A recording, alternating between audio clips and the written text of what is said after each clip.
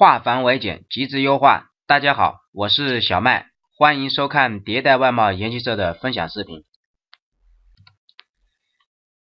本节我们来讲邮件营销五律当中的发件率和收件率。那么我们还是进入这个邮件营销的这个核心思路图，我们通过这个图来先简单看一下。那么所谓发件率呢，就是发件邮局要同意把你的邮件给发送出去。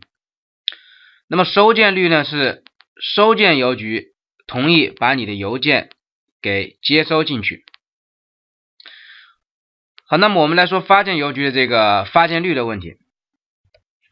如果你的邮件到达发件邮局以后，是吧？那么他如果做了一次过滤，认为你的这个邮件啊，不管是哪个方面吧，不符合这个发件的标准，那么在这个部分就已经给你咔嚓掉了，是吧？那你根本就不可能，就他根本就不往这边去送啊，不往这边去送。所以说，我们有些朋友在发邮件的时候啊，你呃，就我看有些朋友在网络上这个分享说，一天发了几百封邮件啊。如果说你的这个发件的这个操作过程当中啊，有些不当地方的话，那么你这几百封邮件很有可能根本这个发件邮局都没给你发出去啊，那你这这根本就谈不上这后面这一整套的这个操作就就谈不上了，从这个地方已经就掐断了。是吧？那更不用就不用去谈什么客户打不打开呀，看不看呢？怎么你这就不存在了？邮件根本就没被送出去啊！所以说这个呢是一个发件率的问题。那么到了这个呃，如果说你的邮件被发出去了，是吧？到了这个收件邮局以后，那我们说收件率，收件率我们要谈到一个什么呢？就是收件邮局接到你的邮件以后，它就只有啊，它就只有三种处理方法啊，要么呢就是。直接给你怎么拦截掉，认为你这个邮件根本就不符合这个它的一个规则，是吧？纯属是垃圾邮件，那么他就把你怎么样，直接挡回去了，就就不接收了。第二种是什么呢？他接收了，接收以后呢，他也会有两个选择，要么呢就是把你放到这个我们说叫收件箱里边，是吧？要么就把你放到什么呢？放到这个垃圾箱里边啊，放到垃圾箱里边。但是总归来说，他把你这个邮件怎么样收进去了，是吧？就或者说把把你这个邮件送达到你要。送就是你要投递的这个客户的邮箱里边啊，他至少给你做到了，不管是垃圾箱还是收件箱。那么这个就是我们在邮件发送过程当中，你的邮件啊，在发件邮局和收件邮局，或者说我们现在讲的发件率和收件率里边，我们首先了解的一些基本的一些操作的流程和这个环节点啊，我们先把这个先了解一下。那么呢，这里我们要同时要看一下。我们到这个主要来看一看这个收件邮局，收件邮局，收件邮局，我们刚才说了它的处理方法是吧？比如说我给国外一个客户发邮件，那么发过去以后呢，那么他的这个邮件服务器收到收到我的这个邮件以后，有三种处理方法。第一个是第一种是进收件箱，这是我们最希望看到的，是吧？就进入客户的收件箱了。第二种是进了垃圾箱，第三种呢是直接拦截啊，直接拦截。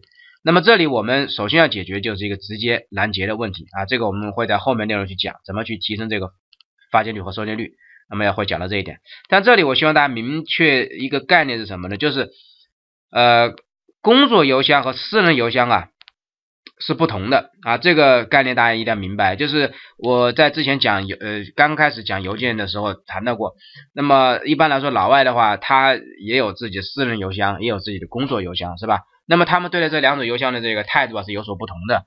那么主要的对于我们做业务来说，啊，很关键点就是什么呢？即使是垃圾箱，他们也会去瞅上一眼的，啊，也会去瞅上一眼的。呃，这是一个这是一个工作习惯的问题。其实这个我觉得很容易理解啊，因为呃，任何一个邮件服务器都不可能百分之百精确到所有的邮件呢，就是你认为是正常的邮件，它都把你放到收件箱，或者说你这个呃呃，你认为这个。应该收进来的邮件，呃，他却把它放到垃圾箱里面，这种情况是存在的啊。你这个应该邮件往来过程当中会会遇到这种情况，对吧？所以说呢，我们在工作当中的时候啊，如果是你的工作邮箱，垃圾箱，大家通常情况下还是会定期啊去看一下的。你比如说我自己的话，我每天都会去看一次垃圾箱啊，看看里面有没有客户发过来的邮件，或者说我认为是一些有用的邮件啊，会投是不是投到垃圾箱里面去了。我们反过来想，客户也是一样的。他的工作邮邮件里边也是一样，垃圾箱呢他也会定期去看啊。这个呢，我跟很多客户聊的时候也问过，他们说垃圾箱肯定要看，因为谁也谁也不敢保证一些重要的邮件就一定能够进入到这个收件箱里边，是吧？所以说我们有时候不要太纠结于说，哎，我的邮件是不是是不是一定要进入这个收件箱啊？你因为进入垃圾箱，所以客户就不看了，这个未见得。你进入垃圾箱以后，你关键是客户看到你的邮件呢，你得吸引他的眼球，是吧？能够让他去打开你的邮件。那么当然，那个就是我们后面要讲的这个打开率的问题了。那么就不是这个呃发件率和收件率的问题。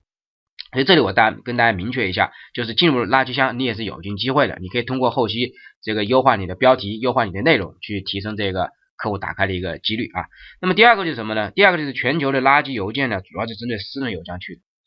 啊，这个呢，很多的朋友可能对对这一块呢并不是太了解啊，因为没有研究过邮件嘛。因为现在呃，所谓的垃圾邮件呢，无非性质最恶劣的就是这些钓鱼邮件、诈骗邮件、赌博邮件等等，就这之类的吧。像这些邮件的话，一般来说他们都选择尽量选择私人邮箱啊，这个呃，并不会选择这个啊公司的邮箱，是吧？这个是很正常的啊，就是他们会选择一些公共邮箱，比如 Gmail 啊、Hotmail 啊或者怎么地，就是一些大家自己用的私人邮箱。像我们。呃，中国的话可能用的比较多的私人邮件就是幺六三和这个 QQ 邮箱，是吧？那么他们主要针对这两种，就是在国内收垃圾邮件，主要针对这两个邮箱走，他不会去针对中国的一些企业啊去发送这个去发送这个垃圾邮件。